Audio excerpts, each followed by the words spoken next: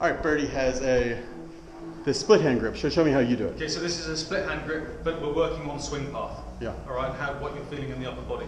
So take your normal lead hand grip uh, and make sure that you're holding the, the club shaft parallel to your toe line, but make sure your lead back of your lead wrist is completely straight down. Okay, that gives you that 45 degree angle on the club face.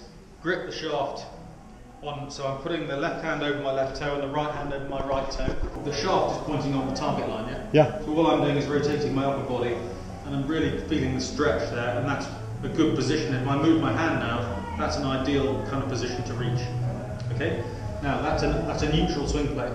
If we're trying to work the ball on a path that's going out to in, all that I do is just set up with my upper body and the club shaft pointing this way, left of the target, Mhm. and swing my shoulders back along this line. Okay, so now the club face will look as if it's pointing left at the target at the top, but swinging the club back down, I'm going to be coming across the ball from an out to in swing path. That's great. And conversely, Yeah. if I want to learn how to hit the draw, Yeah. I just all I do is I set up the same thing, but I point instead of pointing the shaft at the target, Yeah. I'm just pointing the shaft right at the target. Well, that's how that's how I set up for sure. Yeah. and then just swing back on this plane. Suddenly, if I carried on on this thing, it would go across the top. Mhm. But essentially, if I reach the top there, I'm reaching impact with the conditions of my hips and my shoulders being slightly squarer to the target than hitting a, a fade. So it's a very simple way of reaching a position at the top of the backswing for a neutral shot if it's pointing at the target, for a fade if it's pointing left at the target, and for a draw if pointing right at the target. Give it a go. Working on the fade here a little bit. Put your- put your thumb out as Oh, wait, so you got- I gotta, I gotta it. Grip it first. Left hand, left hand grip only. Yep. Now lift up the shaft.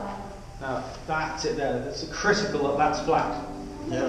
Now, now move that onto its. Nope. That's it. Yeah, over A bit further this way. That's it. So this one covers your left toe and this one covers your right toe. Yep. Okay. Now give you more spine angle tilt. That's it. Right. Now neutral swing plane. There. Perfect. Right. Okay. Now a, fade swing plane. Swing along that. that perfect. Yeah. And now a, new, a draw swing plane. And you can feel your whole body reaches a position that supports that swing path. Yeah. Let's try this one. So that's the one I, I believe that you should be working on more. It gets the left hip clear, clear out of the way.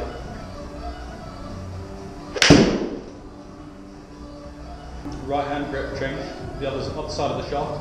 That's it. Uh, hang on, whoa, whoa, whoa. See, that's probably a bit much there. That's just do the left hand grip only. Now this hand the other way around. That's it.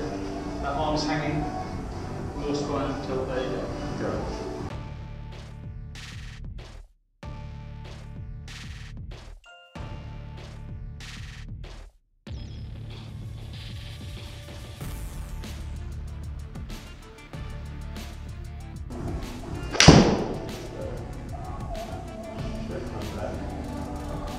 So all that is is just the club face being slightly close to the path because Yeah, the so path was a little good. yeah, the path was left, the face was a little more more left.